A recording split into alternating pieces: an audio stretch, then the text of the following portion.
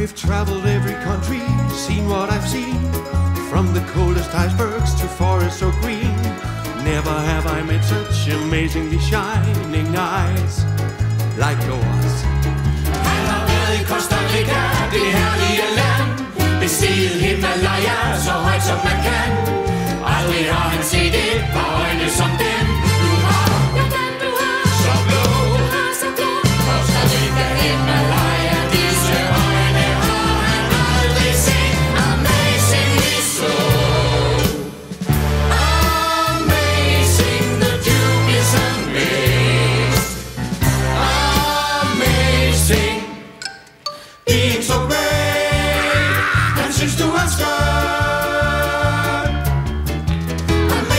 sol.